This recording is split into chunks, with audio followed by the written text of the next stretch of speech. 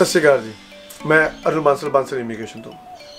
ਇਹ ਵੀਡੀਓ ਉਹਨਾਂ ਲਈ ਹੈ ਕਿ ਜੋ ਦੇਖਣਾ ਚਾਹੁੰਦੇ ਹਨ ਕਿ ਸਾਡਾ ਜਿਹੜੇ ਕਾਲਜ ਵਿੱਚ ਅਸੀਂ ਐਡਮਿਸ਼ਨ ਲਈ ਹੈ, ਉਸ ਵਿੱਚ ਡਿਪਾਰਟਮੈਂਟ ਵੱਲੋਂ ਫੰਡਸ ਜਾਂ ਆਇਲਸ ਦੀ ਰਿਕੁਆਇਰਮੈਂਟ ਹੈਗੀ ਹੈ ਕਿ ਨਹੀਂ ਹੈਗੀ, ਤਾਂ ਕਿਵੇਂ ਚੈੱਕ ਕਰ ਸਕਦੇ ਹਾਂ ਕਿਉਂਕਿ ਸਾਨੂੰ ਮੋਸਟਲੀ ਕੁਐਸਚਨ ਇਹ ਪੁੱਟ ਕੀਤਾ ਜਾਂਦਾ ਹੈ ਕਿ ਸਰ ਅਸੀਂ ਆਪ ਕਿਵੇਂ ਚੈੱਕ ਕਰ ਸਕਦੇ ਹਾਂ?